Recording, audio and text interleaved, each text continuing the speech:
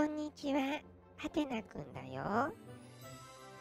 南極に住んでるペンギン、寒くないのかな？今日はペンギンさんにお話聞いてみたよ。いや、僕はペンギン。僕は南極に住んでいるよ。南極はマイナス30度の氷と雪に覆われた世界。寒くないのかって？そうだね。人間って寒いとたくさん服を着込むでしょ？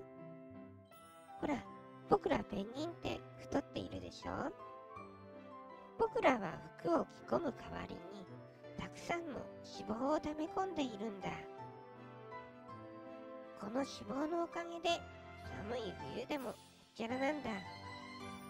しかも体には細かい羽毛がびっしり生えている。まるで毛皮のコートみたいだろ？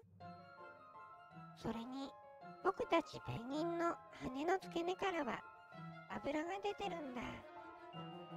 この油を羽に塗れば水を弾いて冷たい水の中でも泳ぐことができるんだ。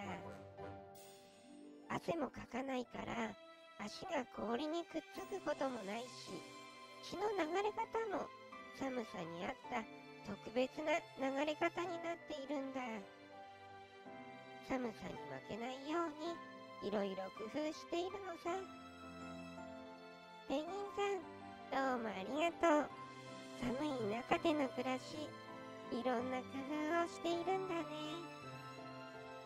今日のまとめ。ペンギンは寒さに負けないいろんな工夫をしている。分厚い脂肪を溜め込んでいる。2細かい羽毛がびっしり生えている。3羽の付け根から出る油で水を弾いている。4血の流れ方も寒さに合った特別な流れ方をしている。